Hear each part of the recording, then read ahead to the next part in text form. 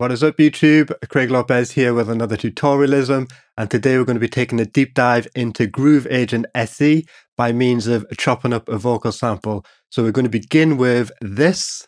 And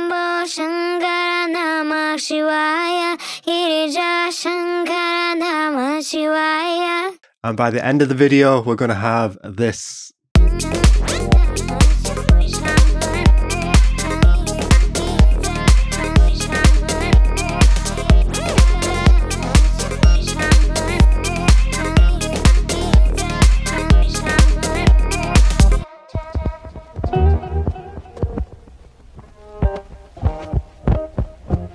So to begin with, I've just got a basic drum loop and a vocal sample. So let's have a listen.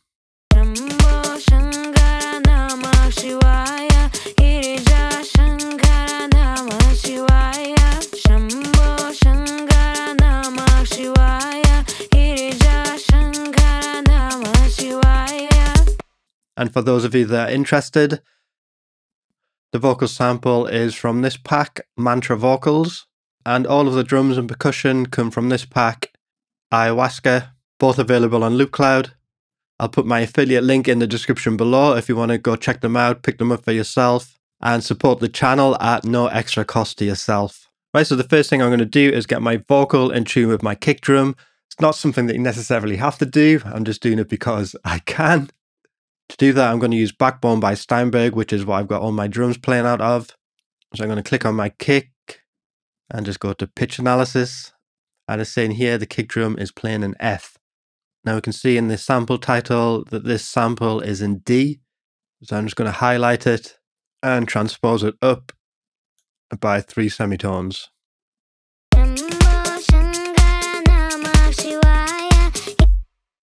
And then I'm going to go to audio, bounce selection, and now we have a new audio file with that transposition baked into it. Right, so let's have a look at chopping this sample up and really making it our own. So I'm going to create an instance of Groove Agent SE, and if I drag the sample onto the first pad,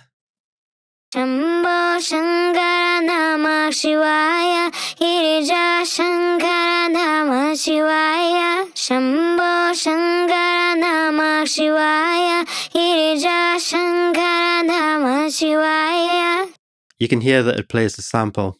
Okay, so by default, when I hit a pad, it will play the sample all the way through. But what I want is for the sample to stop as soon as I release my finger from the pad. So I'm going to click on sample and in the loop mode, I'm going to select until release. And then I'm just going to click on this button here, zoom to selection so I can see the whole sample in this window. Now there's a few ways we can go about a slicing the sample. And one of the cool things about doing this in Groove Agent SE is that everything is non-destructive, which means we're not affecting the original sample in any way, shape or form when we go and start changing different parameters, which is very, very cool. So let's go to the slice page and click on create slices. And then you can see that all our drum pads have been populated.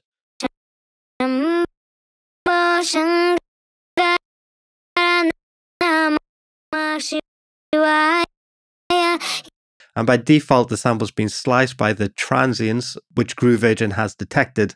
And we can change the mode to grid.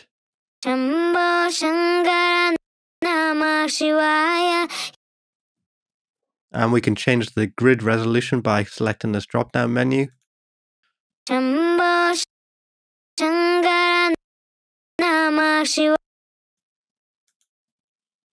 We also have a transient and grid, which is a mixture of the two. And we also have a manual mod. But I'm going to go to grid change the grid resolution to half, just so I have a nice even 16 slices. So I'm going to right click in here, change the grid to bars and beats, just so that it makes a little bit more sense. So now I'm just going to mute the original vocal. Label this one.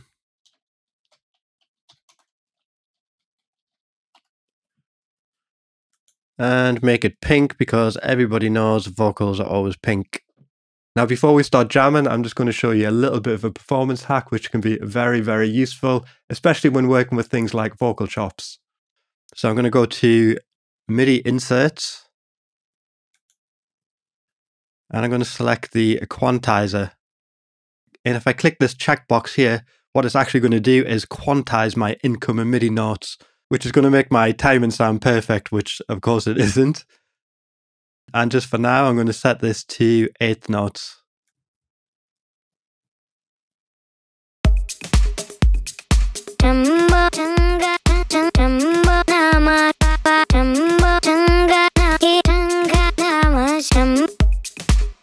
And yeah, it's already sounding pretty cool, but let's dive a little bit further into what we can do with Groove Agent SE.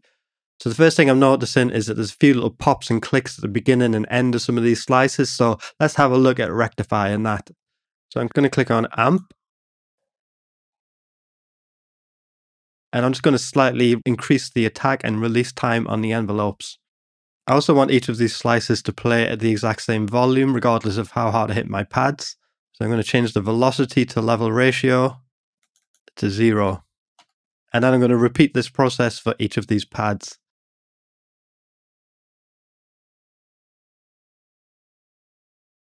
Now this has stopped some of the pops that happen at the beginning of the samples. But on this slice here, you can hear if I play to the end of the slice, there's still a little bit of a click. But we can just simply click on main. Zoom to selection, and we can either change the endpoint, or we can just fade out the slice like this. And one of the cool things about this sample here is because it loops around and because I sliced it by grid, we actually have exact duplicates of each slice on this pad. And this pad. And this pad. And this pad. And so on and so forth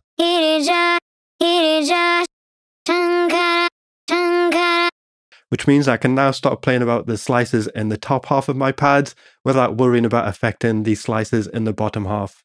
So let's look at some of the options that we have available. So let's go with slice 9. And let's try pitching this one up by 12 semitones. But you can hear when I've done that, it's actually sped the sample up. So let's see what we can do about that. Let's click on sample and engage audio warp. Let's just select solo. And now if I play them, we can now hear that the pitched up version is now playing at the same speed as the original. It is a little bit chipmunky now, so let's play about with the formant shift.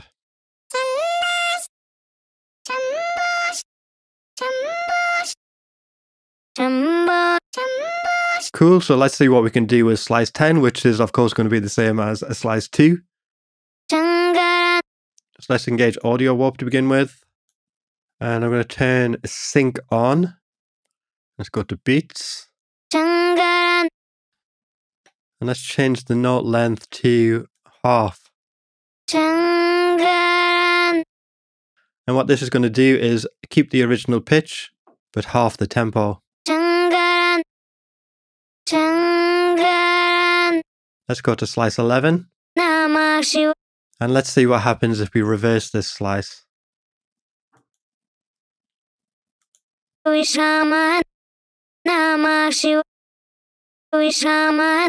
And for slice 12, let's try a combination of all three of those things. Let's put audio warp on. Let's engage sync. Let's change the pitch, but this time let's go by a fifth or seven semitones. Let's reverse it. And pull the formant shift up. And let's just fade that out. And maybe let's get rid of this breath at the beginning. For slice 13, let's try something a little bit different. Let's try the pitch envelope maybe. See what happens if we pull this up. increase the envelope amount. Pull this back a bit.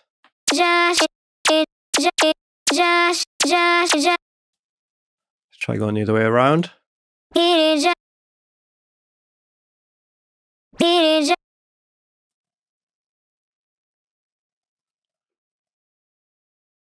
Let's put sync on so we can get it in time.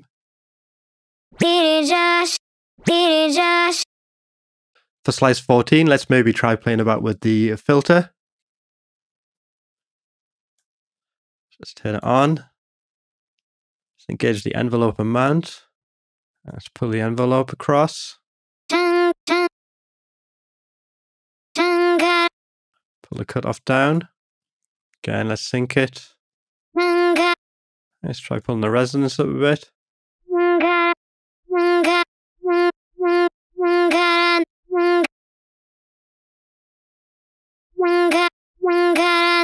For slice 15, let's maybe try incorporate in a little bit of everything.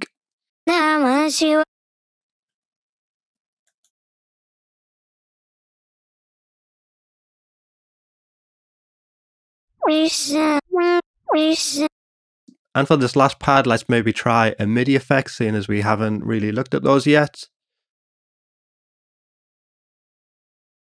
Let's try a flam. Bye, bye. So let's have a listen to what we have so far.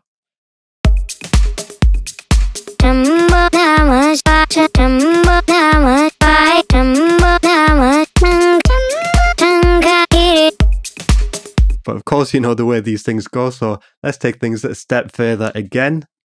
I'm going to go to main, and I'm going to give each of these pads their own output.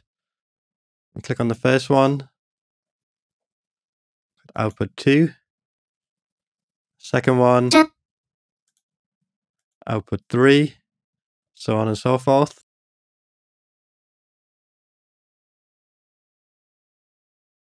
And now if I open up the mixer, we should see that each of these chops now has their own output. Which means we can now put different effects on each of the slices. So what I'm going to do is I'm going to pause the recording of my video because I feel like I'm going to be tweaking away for quite a while on this. And then we come back and see what I've got. So I did just stop the recording there. And after about 20 minutes or so of playing about, this is what I've ended up with.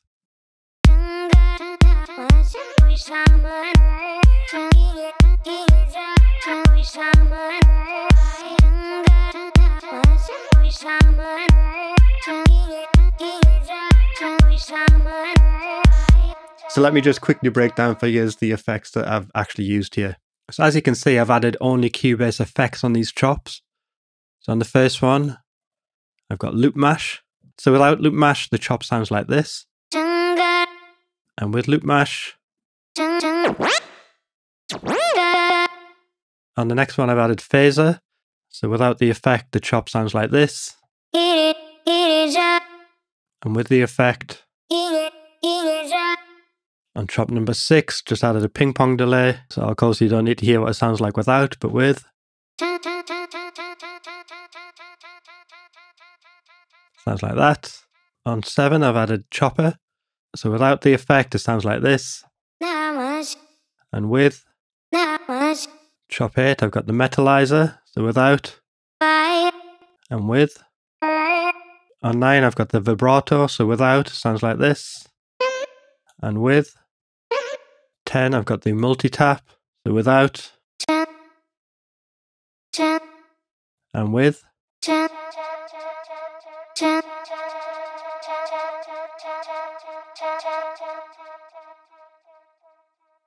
Chop 11, I've got the step filter, so without, sounds like this. And with.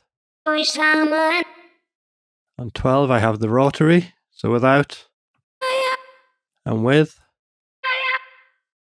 And then finally on chop 16, I've got the transformer. So without, sounds like this. And with. I then added all those chops to a group added a little bit of reverb and some sidechain compression, which is being ducked by the kick. So let me play just the kick and the chops. And this is the final result.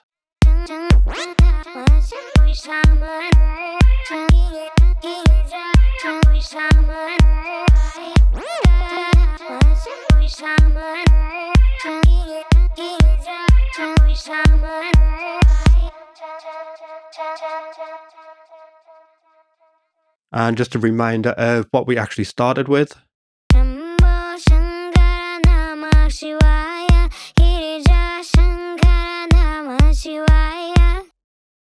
And then I just added some chords and some bass, and now we've got a cool little jump off to start making the track with.